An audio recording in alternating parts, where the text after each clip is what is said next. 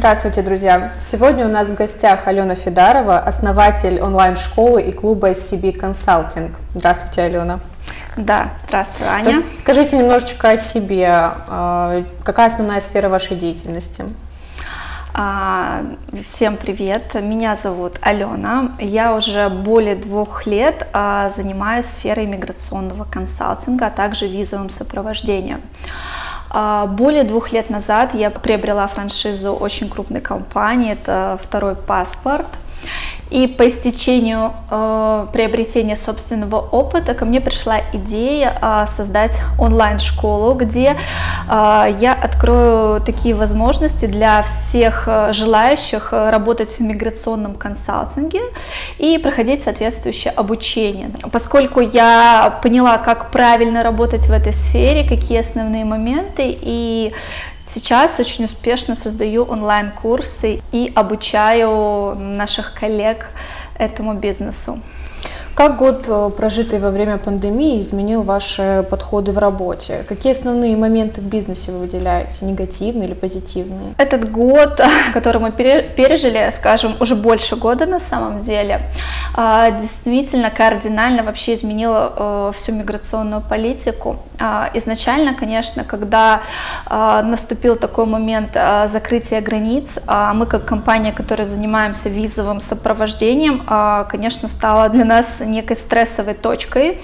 И более того, скажу, что многие компании, работающие в этой области, а, восприняли это как э, окончание или банкротство, да, и очень многие компании просто закрылись. При этом наша компания а, стала искать просто пути подхода.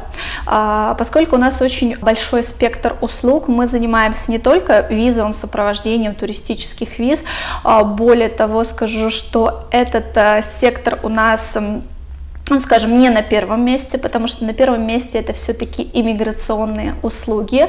Э, что касается туристических направлений, мы непосредственно ими занимаемся, но это не основная наша деятельность. И в период пандемии очень многие направления как раз-таки были открыты не в целях туризма. Да, то есть это, например, рабочие визы, э, студенческие визы, э, бизнес-визы, да, какие-то другие миграционные направления, и, соответственно, это то, что есть в нашем арсенале, то, что доступно, и э, поэтому мы смогли сохранить э, большую часть клиентов, более того, их приумножить. В тот момент, когда э, большинство компаний, которые занимались рядом каких-то направлений, ничего не могли им предложить, мы, мы искали э, всевозможные пути для того, чтобы удовлетворить потребности наших клиентов, и со временем настолько приспособились к этой нестандартной ситуации, что постоянно какие-то ограничения, какие-то самолеты куда-то летают, куда-то не летают, какие-то посольства закрыты, да, то есть мы уже полностью приноровились э, к такому формату, что э, в какой-то стране могут не работать посольства, что нашему кандидату придется ехать в соседние страны, да, то есть мы профессионально уже подготавливаем наших клиентов, и они видят, что мы можем э, оказать реально индивидуальный подход и большое количество вариантов решения его ситуации. Алена, вы запустили новый бизнес-проект CB Consulting. А, расскажите немного о нем поподробнее. Изменился ли ваш э, спектр миграционных услуг и условия работы? А, смотрите, да, а, постараюсь максимально а, подробно ответить на этот вопрос. Конечно, у многих наших подписчиков, клиентов возникает, да, что такое второй паспорт, что такое CB консалтинг. Но, как вы уже сказали в самом начале, о том, что SCB консалтинг в первую очередь является онлайн-школой. То есть я создаю большое количество именно обучающего материала для специалистов специалистов в сфере миграционного консалтинга. Также я хочу сказать, что это клуб, да, то есть сам по себе клуб, он имеет существенные отличия от э, самой франшизы второго паспорта, и э, далее, в принципе, могу рассказать об этих отличиях. Являются ли данные компании конкурирующими компаниями? А, нет, ни в коем случае данные компании не являются конкурирующими, поскольку у них одна структура. А, более того, а, в нашей компании создана такая система, да, это CRM-система, которая не позволяет конкурировать внутри компании. То есть, конечно, мы можем конкурировать с другими компаниями, но не между собой. Скажите, пожалуйста, в чем же основное отличие двух разных бизнес-проектов? Спасибо, это очень хороший вопрос. А, Наверное, самый основной, э, который должен быть отображен в этом видео. Я скажу основные отличия. А, если мы будем говорить о франшизе второго паспорта как приобретение бизнес-модели, то есть и э, членство в клубе SCB Consulting. А, по своей сути они имеют очень похожую структуру, да, то есть это миграционный консалтинг, это работа а, при помощи субподрядчиков, при помощи наших партнеров и заработок непосредственно на комиссии. А, это что касается иммиграционной деятельности, да, то есть в нашей компании, сейчас я ее немного обобщаю, есть большое количество, это более 350 лицензированных компаний и адвокатов, которые оказывают а, непосредственно миграционные услуги нашим клиентам, имеют на это все необходимые лицензии, и мы на очень выгодных условиях зарабатываем на проценте. Более того, я скажу, что это никак не, не отражается на клиентах, потому что э, наша компания работает исключительно по ценам наших партнеров, и э, при этом клиент никак не страдает, если он пойдет напрямую, скажем, к какому-то миграционному адвокату или пойдет к нам. Более того, он приобретет, э, наоборот, в, в лице наших менеджеров дополнительную поддержку, контроль и э, качественное обслуживание. А иногда так происходит, да, что кандидат проходит по какой-то миграционной программе, и э, в силу тех или иных обстоятельств ему нужен комплекс каких-то услуг, да, то есть мы можем э, как раз-таки его предоставить, да, то есть мы также занимаемся профессионально-визовым сопровождением, и иногда, например, миграционные э, юристы, да, занимаются одним профилем, а мы одновременно делаем уже э, какой-то другой профиль, да, там открываем визу в ту или иную страну, а юристы продолжают свою работу уже на территории той страны. То есть это происходит некий комплекс.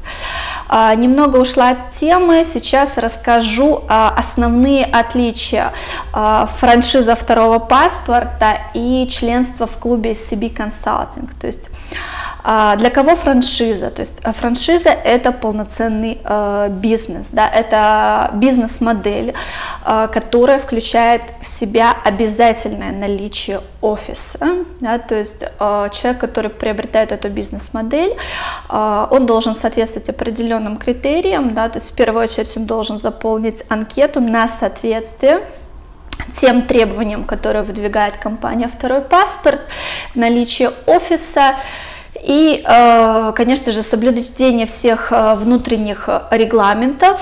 И как поддержку от лица компании, франчайзи, который приобретает франшизу, он получает размещение на всех интернет-ресурсах компании, второй паспорт его контактов. Тем самым он становится официальным представителем в своем регионе. То есть э, у компании второй паспорт есть э, очень большой сайт, который занимает лидирующий позиции в интернете. И когда клиент хочет в определенном регионе а, прийти в офис для того, чтобы проконсультироваться и в последующем заключить договор, он заходит на сайты компании и а, видит там ваши контакты и непосредственно идет уже к вам. Как я сказала, с помощью CRM-системы а, каждый клиент закрепляется за определенным а, франчайзи и из-за этого отсутствует конкуренция внутри компании. Что касается э, членства в клубе CB Consulting, э, если мы э, немного проникнемся самой фразой членства в клубе, э, э, отсюда уже можно сделать определенные э, выводы. Э, членство в клубе не подразумевает открытие собственного офиса, то есть по сути человек может работать даже удаленно, он может работать э, на фрилансер, да, предположим так, или он, он может уже э, иметь какой какой-то похожий бизнес, визовый центр, у него может быть свой какой-то бренд, и он хочет дополнить а, свой бизнес дополнительной информацией, да, то есть в нашей базе имеется готовая бизнес-модель, а, очень большое количество партнеров, и человек приобретает членство в клубе, он становится членом, и он может пользоваться а, всеми вот этими ресурсами.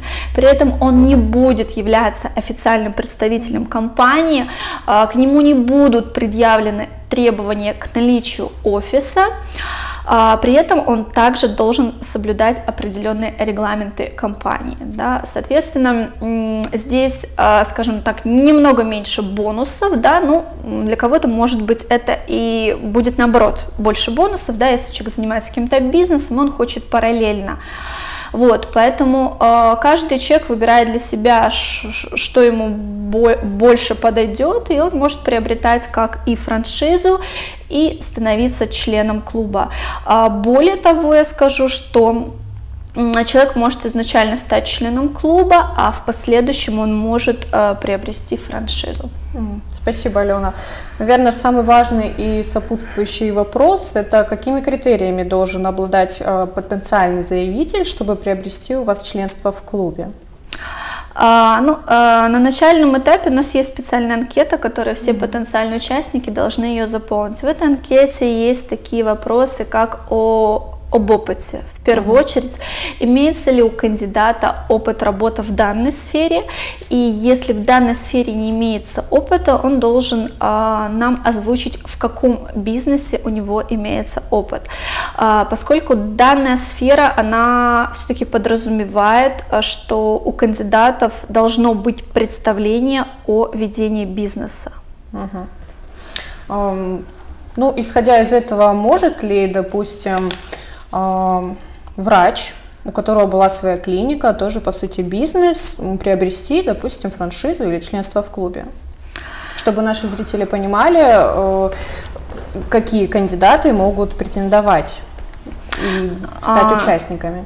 А, смотрите, если это был по, просто врач, угу. и, или э, вы сказали врач, у которого был свой бизнес и своя клиника. Да, допустим, своя клиника, но в которой он тоже работал врачом.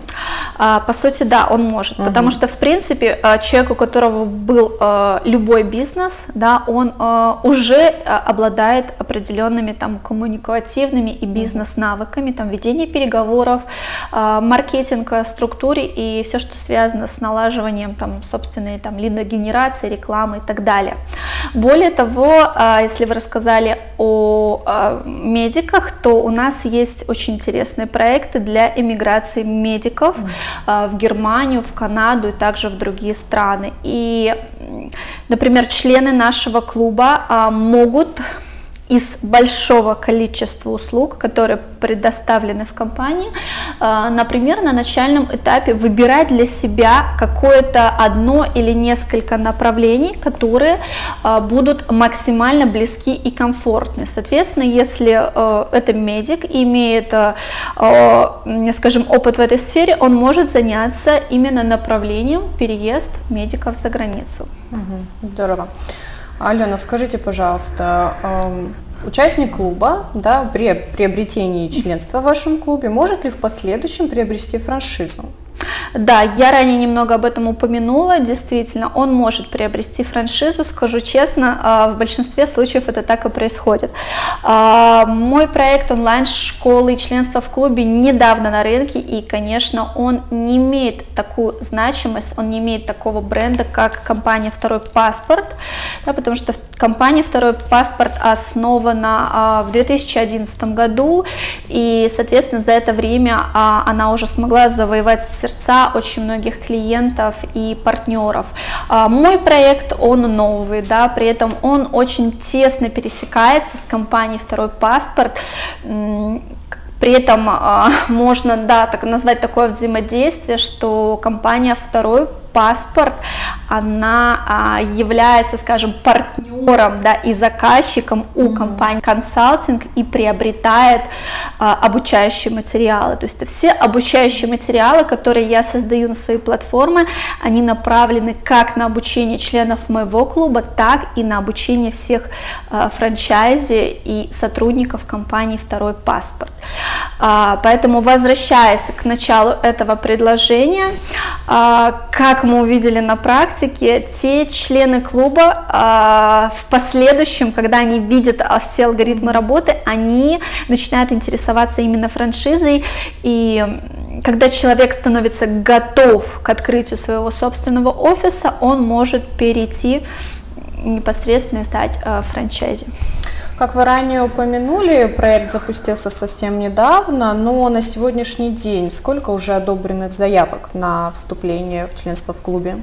А, на данный момент это три заявки, э, три кандидата, которых э, успешно начинают строить свой бизнес, э, у них уже имеется опыт, да, у кого-то, кстати, один из важных моментов относительно опыта, да, вот если у человека есть какой-то опыт проживания за границей, да, там наличие вида на жительство, или, может быть, раньше жил или обучался сейчас это в принципе тоже очень важно, очень интересно, и это может помочь в развитии бизнеса. Алена, в завершении нашего интервью я бы хотела спросить. Известно, что 90% э, бизнес-предприятий по всему миру разоряются на начальном пути. Да? Ты запустила уже второй проект. А собираешься ли ты дальше двигаться и какие у тебя дальнейшие фокусы развития компании? А на самом деле, да, действительно, очень многие компании, конечно, особенно по франшизе, скажу, да, что есть э, такая статистика, что э, очень многие компании, э, которые начинают э, развитие по франшизе, они э, в последующем закрываются.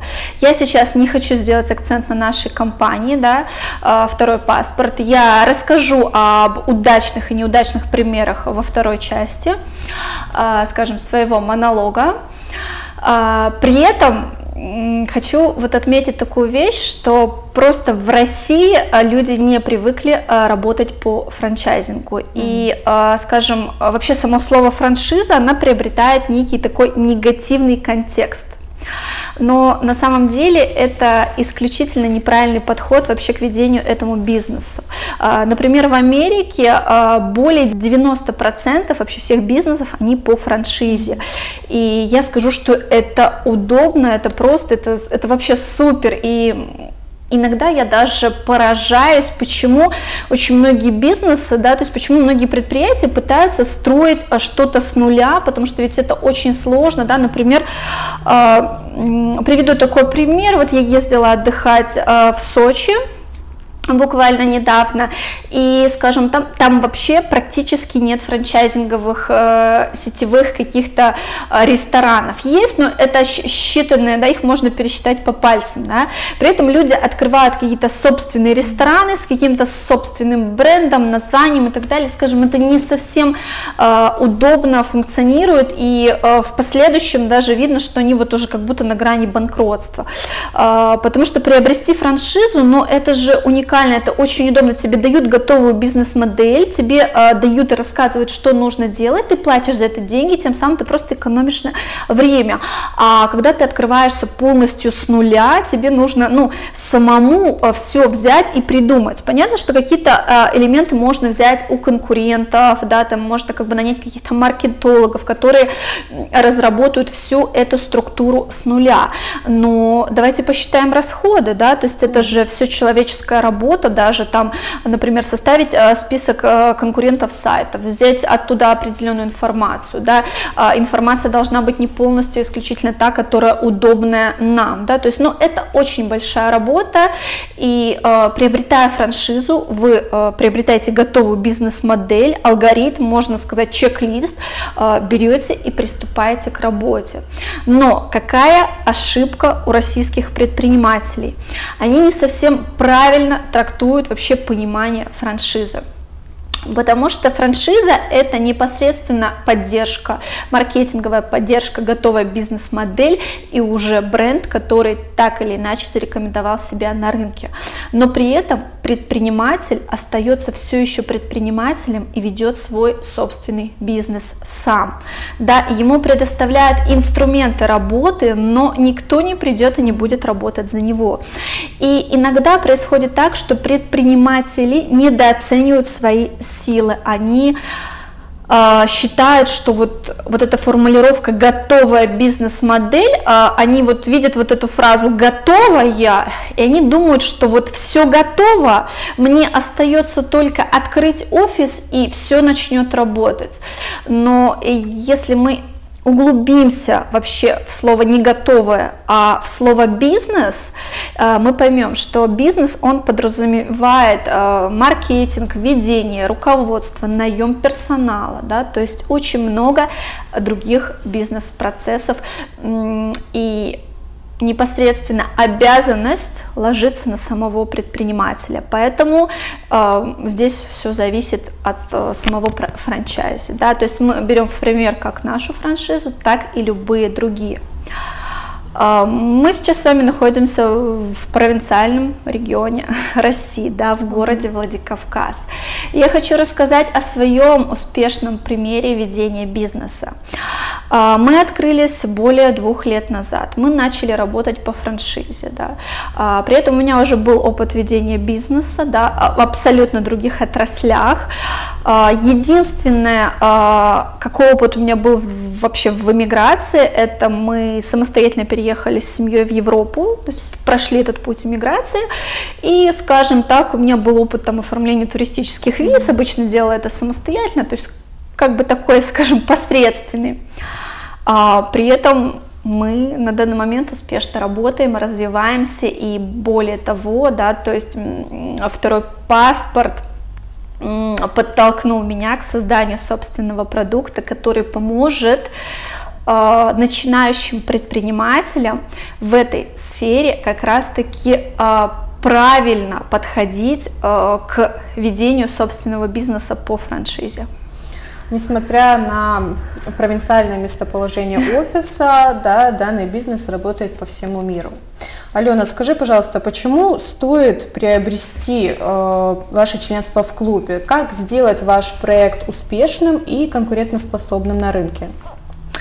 А, смотрите, почему а, стоит а, приобрести членство в клубе? Вот а, одна еще такая отличительная особенность от франшизы, ну я ее уже упоминала, сейчас раскрою немножечко больше, это о том, что человек может работать удаленно, может брать только некоторые инструменты из нашего бизнеса, ему не обязательно прям полностью окунаться да, а, во все сферы сразу, потому что действительно очень большой объем информации, но а, каждый член клуба или франчайзи он должен понимать, да, вот здесь у нас указано 70 стран, на данный момент у нас уже более 70 стран, и, конечно, обучение, оно будет долгим, трудоемким, и потребует э, ваших усилий. А, соответственно, почему стоит приобрести членство в клубе? То есть человек может работать удаленно. А, к нам клиенты очень часто обращаются, да, что вот они хотят переехать, вот, но при этом, собственно говоря, быть каким-то финансово независимым, фрилансером и так далее. Так вот, что касается переезда за границу с семьей и работа в этой области, она может быть очень тесно связана, потому что в Европе и не только существует очень много программ, а, где а, человеку достаточно показать свою деятельность, свой доход и при этом работать удаленно и жить, в принципе, там, где он хочет. Вот, это уникальная возможность, да, то есть наша сфера, она раскрывает э, потенциал для э, многих участников, то есть здесь можно развиваться, обучаться, здесь пересекается очень много тем, да, там лечение за границей, законодательство за границей, юрисдикция различных стран, это просто нереально интересно, визовое сопровождение, то есть это постоянное обучение, да, и это очень-очень интересно, то есть вы работаете, на этом вы можете зарабатывать, более того, вы можете в чем-то помогать себе, там, своей семье, там, в открытии виз, путешествий и так далее, то есть вы становитесь, вас, ваш кругозор расширяется, вы становитесь более компетентным вообще в различных отраслях. А самое главное, что это очень интересно общаться с людьми, которые уже переехали за границу, да, общаться с миграционными адвокатами, узнавать вообще, сравнивать вот это законодательство. А еще просто, ну, нереальный кайф, когда мы э, получаем положительные результаты от наших клиентов. Да? То есть, когда вот нам клиенты присылают вот эти свои одобренные визы, это просто вообще нереальное ощущение, когда ты проделываешь определенный путь и ты видишь свой результат э, в этот момент, наверное, ты даже забываешь о деньгах, ты просто вот рад, такое ощущение, что готов делать это бесплатно. Но, конечно, это не так, да, то, что наши услуги должны быть оплачены, и к этому нереальному ощущению ты еще и получаешь непосредственно доход, и то есть это совокупность вот таких нереальных эмоций. Да, и доход достаточно большой. И сама как специалист по работе с клиентами, а, получившая недавно сертификат, могу вам сказать, что по статистике в день поступающих заявок от клиентов на иммиграцию в районе 100 человек. Из них примерно 40% а, заключенных сделок. То есть э, я так понимаю, что непосредственно такой приток, он э, случается из-за каких-то какой-то политической обстановки или, может быть, закрытие границ, э, мне кажется, оно спровоцировало людей, да, когда вот э, что-то запрещаешь, человеку начинает это очень-очень хотеться, да, и когда закрыли границы, соответственно, люди начали задумываться о получении вида на жительство, второго гражданства, да, поскольку вот, например, у нас есть вид на жительство в Европе, и мы с семьей взяли и приехали в Россию, да, если бы у нас были туристические визы, хотя они у нас есть, они скоро уже прекратят свои действия. И, э, соответственно, мы бы не смогли выехать, и, конечно, это ну, не совсем комфортно, мы не видели свою семью более года, да, то есть, и, э, конечно, люди начинают искать варианты различные. Да, несмотря на сложившиеся сложности с э, пандемией, компания все равно росла и приобретала, наоборот, большие обороты. Непосредственно пандемия оставила свой, свой след в компании, а, но, знаете, такая замечательная формулировка, все, что нас не убивает, делает нас только сильнее. Мы настолько приспособились э, работать э, в таких обстоятельствах, мы э, приспособились максимально профессионально и правдиво предоставлять нашим клиентам всю эту информацию, да, о том, как обстоят дела и какие у них есть возможности на данный момент, что, мне кажется, по после открытия границ а, мы просто станем лидерами, да, еще пуще прежнего. Лена, тебе большое спасибо за сегодняшнее интервью. У всех наших зрителей, если останутся еще вопросы, э, номера телефончиков будут под данным видео. Также вы можете оставить заявку на сайте. Э, вас обязательно проконсультируют специалисты компании, ответят на все ваши волнующие вопросы. Да, все, друзья, всем пока. Спасибо пока. за просмотр.